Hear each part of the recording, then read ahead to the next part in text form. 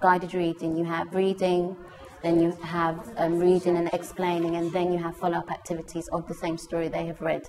And today is a follow-up activity. We're going to be using props to act out the story, which I find helps to focus the children on the learning objective that we're thinking about. And it's active. We're, you know, we're standing up. We're not just all sitting on the carpet looking at the book together. At Princess May Primary in Hackney, Joy George is asking her Class 2 guided reading group to revisit a well-known text, Little Red Riding Hood. And also we're going to be looking at speech marks, full stops and capital letters. While at Gade Valley Primary in Hertfordshire, Jenny Berry is reading an exciting but jumpy tale with her reception class. Okay, then where are we going to start then? Up here. Right. Once, Once there was a big wide-mouthed frog with the biggest, widest mouth you ever did see. I'm a big wide-mouthed frog, shouted the The frog goes on a journey where he meets and greets a wide range of strange animals. Hey you, big thumping feet, who are you and what do you eat? Shouted the wide-mouthed frog. Should we be posh again?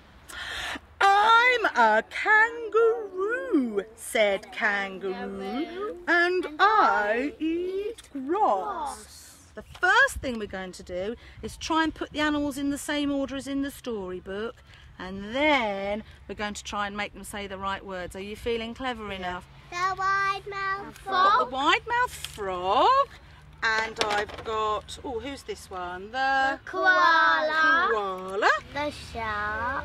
Not a shark, was he? What was he? He was a crocodile. He's got big sharp teeth like a shark, hasn't he? Who was the first creature he met? Kangaroo. The kangaroo. Are you sure? Yeah.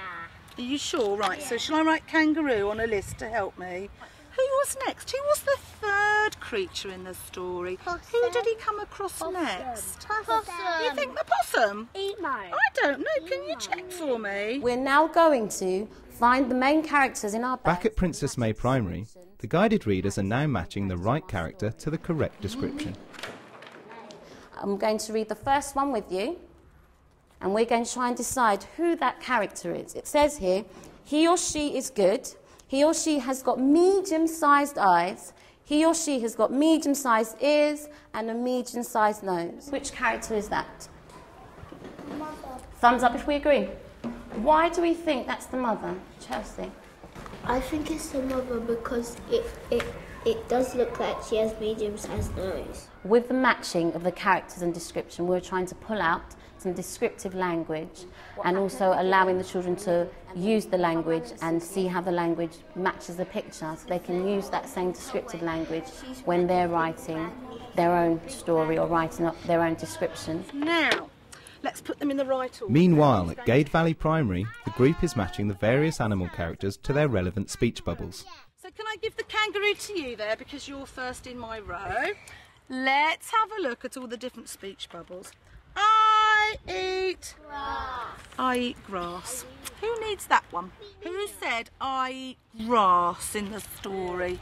Kangaroo. Okay. You stick on them. I'd like you to go and put your kangaroo over there on the table. And I'd like you, Tiana, to go and put your koala over there by the playhouse. I'm going to give you your own little wide-mouthed frog and you're going to go around and going to visit all the different creatures and I'm going to have my ears switched on and I'm going to check that when you're telling the story with your puppet that you're using all the words from the story. Are you ready? Oh